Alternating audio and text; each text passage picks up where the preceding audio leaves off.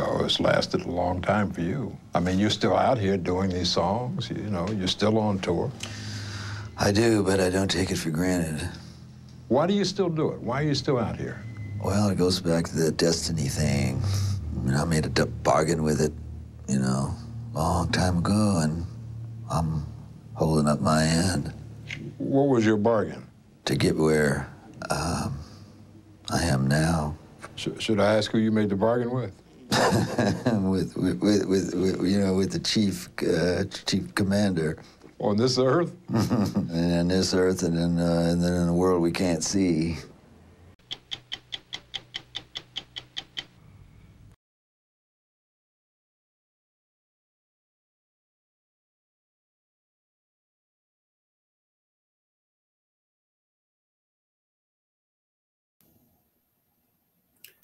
Bob Dylan's Real Link to the Rolling Stones by Miles Mathis.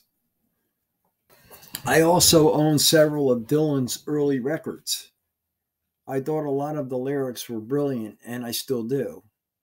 I no longer believe Dylan wrote them, but that doesn't change my opinion of the lyrics.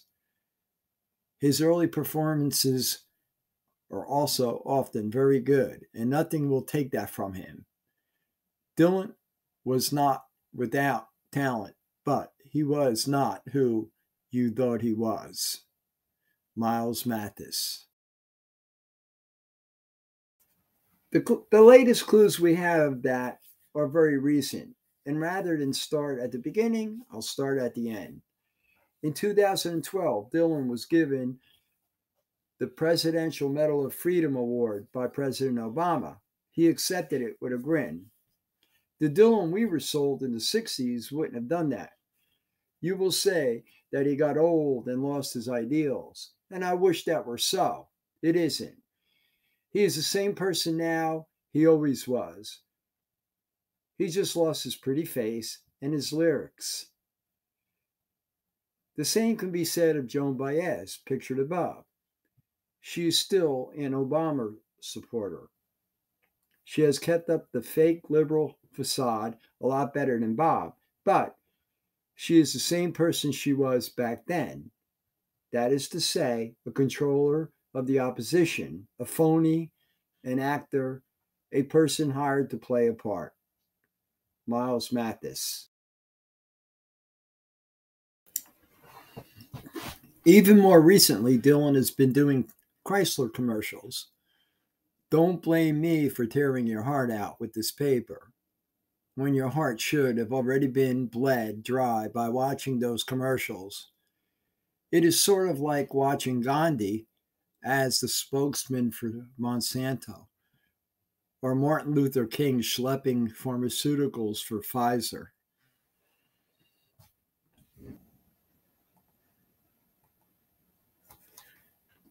But let's go back to the beginning when Dylan was supposed to be the voice of a generation.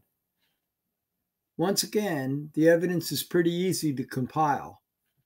As usual, Wikipedia, which you would expect to be totally whitewashed, is full of red flags. All you have to do is open your eyes. Most people know Dylan was born Robert Zimmerman to a prominent Jewish family in Duluth, Minnesota. Most don't realize how prominent they really were I didn't know until recently when I read that his uncles and great grandfather owned movie theaters around Hibbing. With more research, that fact grew.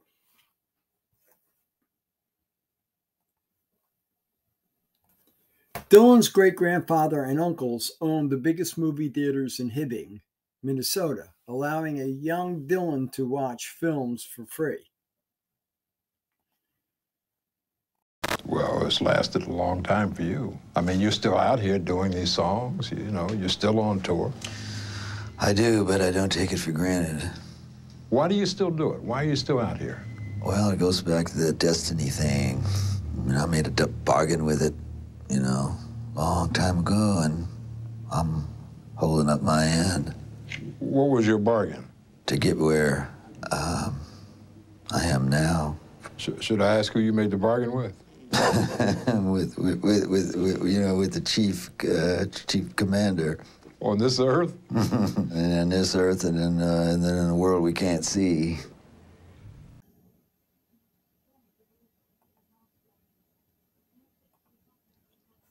Mathis's research on Bob Dylan highly suggests that the Zimmerman family were extraordinarily well connected, and not just in Hibbing or Duluth. In fact, his research suggests that Bob Dylan is related to the billionaire Eugene Zimmerman of Cincinnati, a railroad tycoon who was on the board of Standard Oil.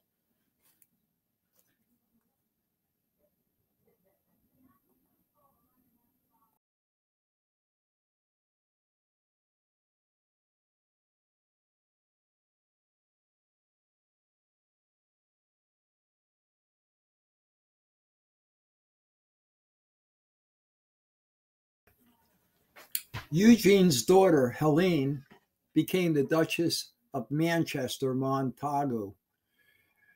And Zimmerman not only arranged the marriage, but bought the entire dukedom, including castles and lands. Helena later divorced Montagu and married Keith Falconer, Earl of Kintore. Eugene Zimmerman also worked with Marconi, alleged inventor of the radio.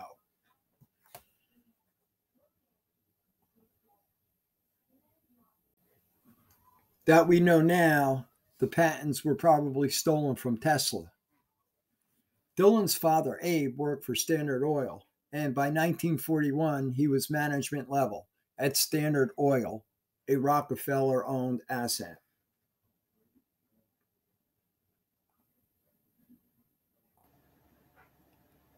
Before we move on to the big cities, let's look a little closer at Hibbing a list of prominent people from Hibbing throws up some real head scratchers, including Vincent Bugliosi, Bruce Carlson, Gus Hall, and Chi Chi LaRue.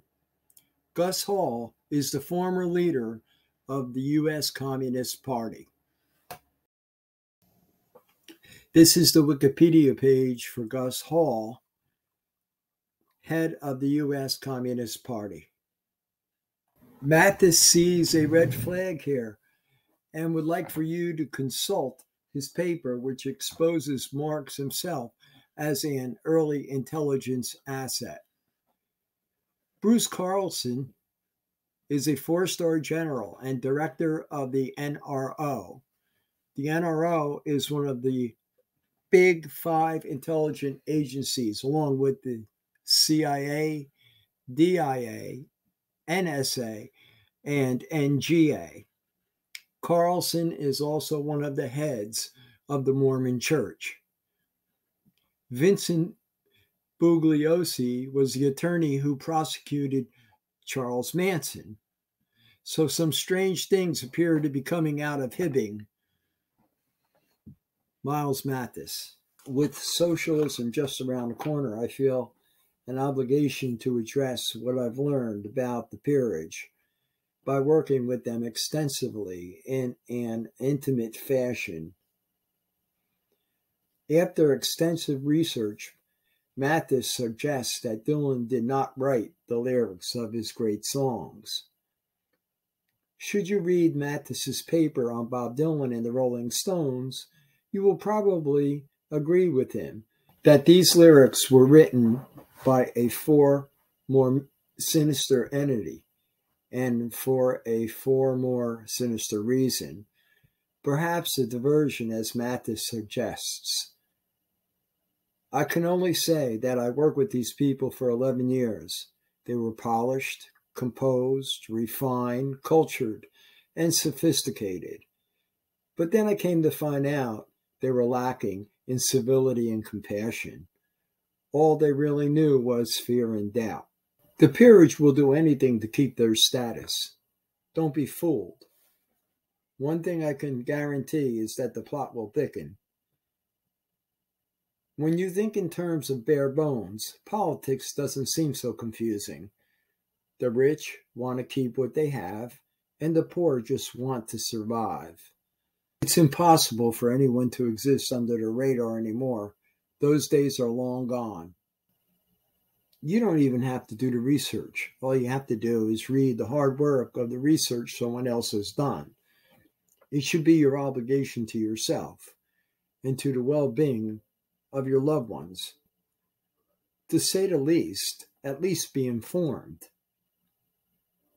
I would like to thank Mr. Mathis for all his hard work and dedication to the truth. Thank you for listening. Miles Mathis's writings can be read at milesmathis.com.